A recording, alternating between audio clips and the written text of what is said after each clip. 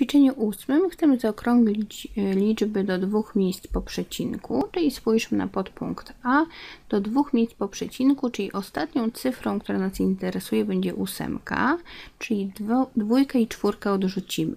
No i patrzymy, ostatnią z odrzuconych cyfr była dwójka, no czyli jeżeli mamy dwójkę, to nic tutaj nie dodamy, czyli mamy 6,78 i to będzie zaokrąglenie tej liczby do dwóch miejsc po przecinku. My chcemy jeszcze wyznaczyć sobie błąd przybliżenia, czyli to znaczy, że musimy od liczby, czyli od tego, co mieliśmy tutaj, odjąć przybliżenie tej liczby, czyli to, co mamy tutaj. A więc zapiszmy, że błąd przybliżenia to 6 przecinek. Całą tą liczbę przepiszmy i odejmiemy to, co mamy tutaj.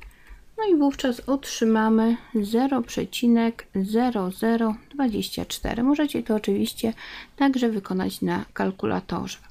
Spójrzmy na podpunkt B. Znowu byśmy chcieli sobie tutaj zapisać zaokrąglenie do dwóch miejsc po przecinku, czyli ostatnią cyfrą będzie 6. Patrzymy, tutaj mamy piątkę, czyli to znaczy, że musimy dodać 1, czyli mamy w przybliżeniu 8,47.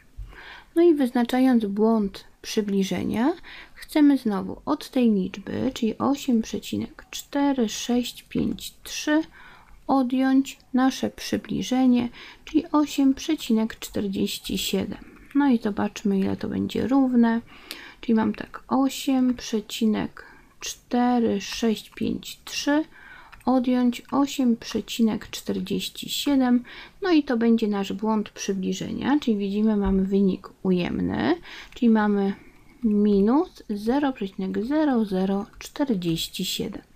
Spójrzmy na podpunkt C, czyli także tu chcemy mieć przybliżenie do dwóch miejsc po przecinku, czyli mamy dziewiątkę, czyli tak, mamy 7 przecinek, no ale tak, spójrzmy, za dziewiątką stoi piątka, czyli to będzie ta pierwsza cyfra, którą odrzucamy, czyli wiemy, że dodamy 1. No ale do 9 jak dodamy 1 będzie 10, czyli jeszcze 1 nam przejdzie tutaj do ósemki, czyli tak naprawdę w przybliżeniu otrzymamy 7,90.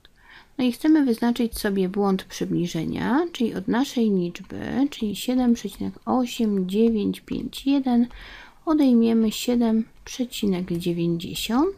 No i spójrzmy ile to będzie równe. Czyli mamy tak 7,8951 odjąć 7,90 90. No i tu też będzie liczba ujemna, czyli mamy tak minus 0,0049. No i spójrzmy jeszcze na przykłady D.